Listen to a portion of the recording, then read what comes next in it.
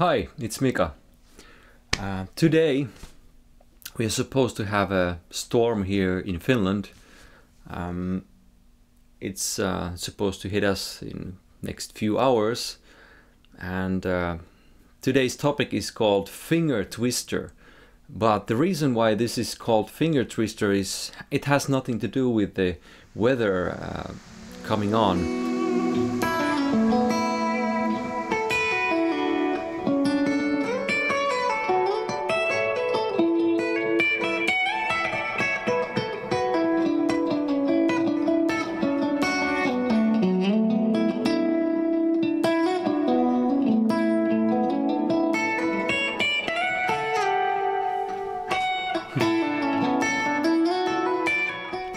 Yesterday I was doing uh, guitar lessons, and uh, many of the lessons were about uh, melodic improvisation that is based on chords rather than playing scales.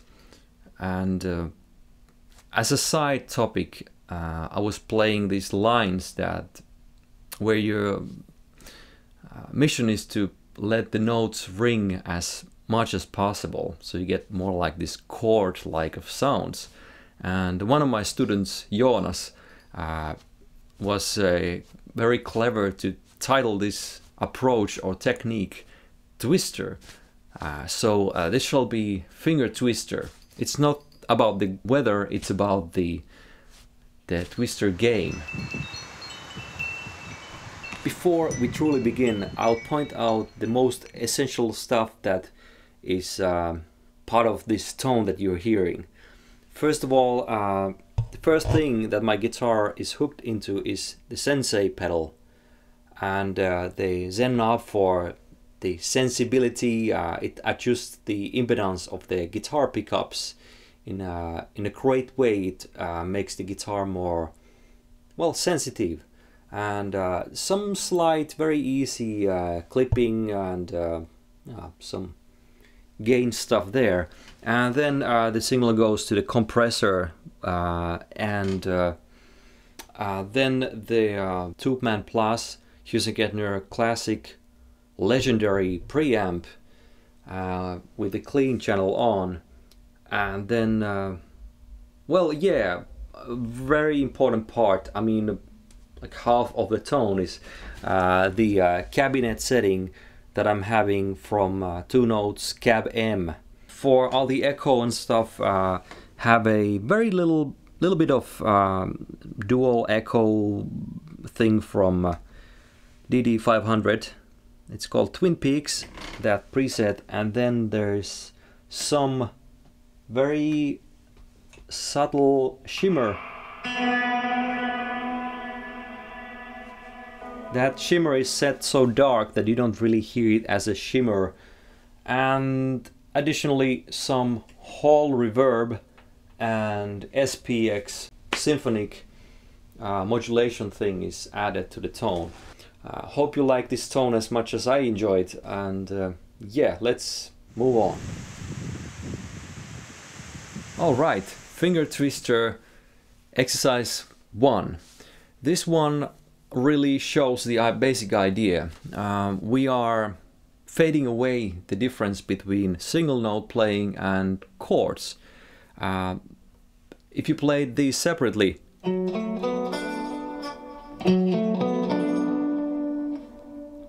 it sounds like a well a melody line or something. And uh, but if you let this ring,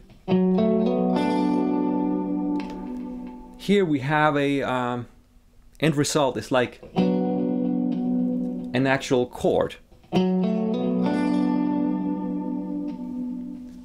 The only tricky thing is to have that hammer on there. Next example, slightly uh, expanded, so we take uh, some extra notes. Here um, I well I, I get to use all the fingers. I start with the middle finger and forefinger uh, ring finger. Since the uh, this A note doesn't sustain anymore once I hit the B, I can release that finger and move it to uh, here on G string so I can play that uh, D note. And continue by using the pinky. And again my forefinger is free to go to finger the F sharp on B string.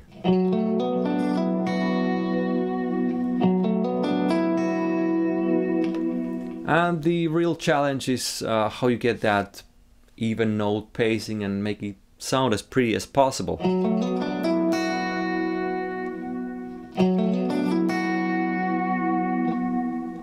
Can sound kind of like a harp or a kantele kind of sound. You're kind of mimicking the open string instruments where you have a lot of strings and you can play all these notes and they ring together.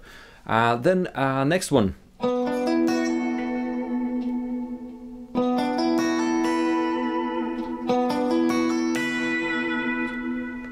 the same one just starting on uh, yeah on the note on D string and the, same idea you can move um, up and down the this the fretboard and I, you could find something like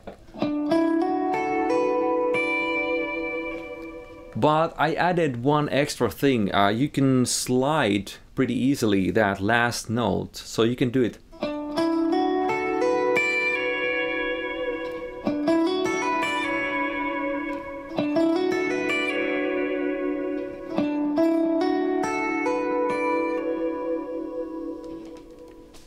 Next, I want to point out that with different fingerings, you can get different results. Uh, basically, we have a uh, line that goes like So five notes and uh, depending how you finger these you can get uh, different notes uh, ring and sustain in the end. The basic way would be may maybe so in the end you have these ringing together. But then another optional alternative way to finger this would be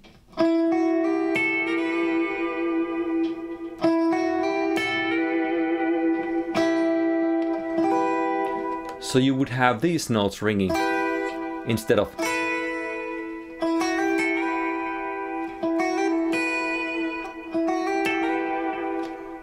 And if you want to try a real challenge, uh, you could finger it like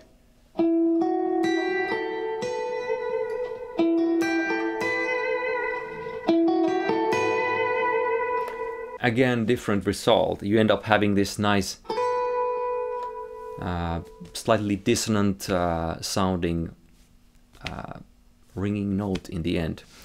This following example is one of my favorites that I use a lot. You might have heard me do this.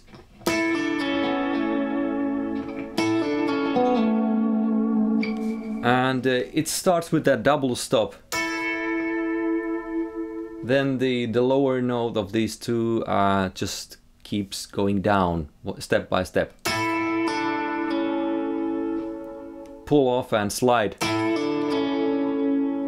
Then you try to keep that sustain, sustaining and then play the two notes. And uh, here's a uh, slightly expanded version with, uh, with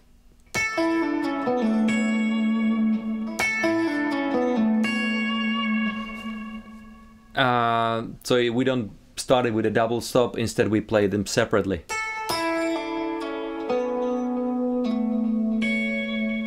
And here you basically let go of this note and I don't think no one will really hear if you sustain it that or not. And uh, when you do that, this note, you you you go uh, you pull off to the A note from B, and then you have that this finger ready to play that one note over here on E string.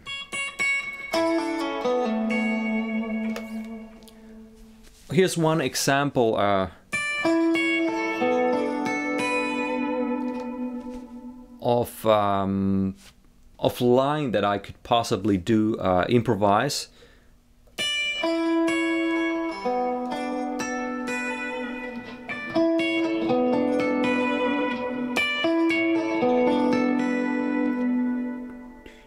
You don't need to sing do do do do. Uh, here's one really pretty sounding thing.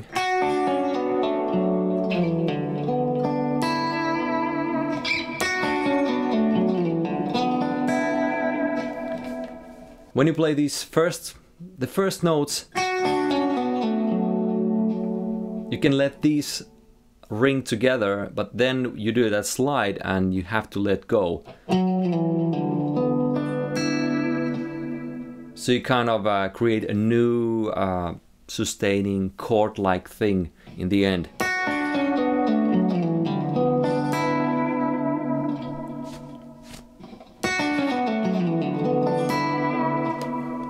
And none of this stuff needs to be fast. It's more about the beauty of, of those ringing notes, making them sound nice.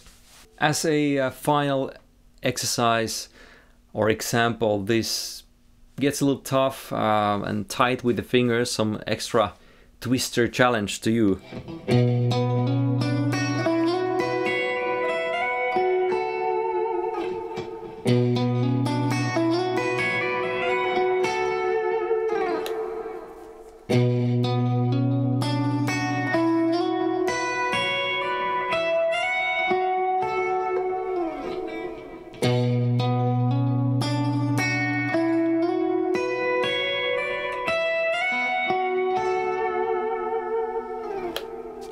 Alright, thanks for watching.